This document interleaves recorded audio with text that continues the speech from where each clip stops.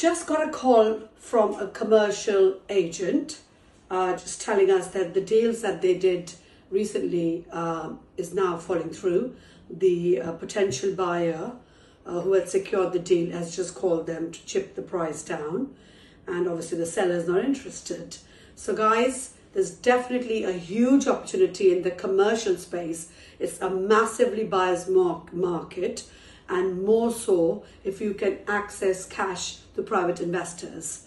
What he also said was a lot of the deals that are falling through, and this is what he was saying, has come from not just him, but a lot of his commercial agent colleagues are falling through because of lack of uh, bank funding uh, going through. The deals are just staying there, they're just sitting there, they've been agreed, uh, but they're not progressing much further due to the issues in the money market right now. So if you have cash investors, I think commercial property, offices, and retail is the place where you should be finding the right deals.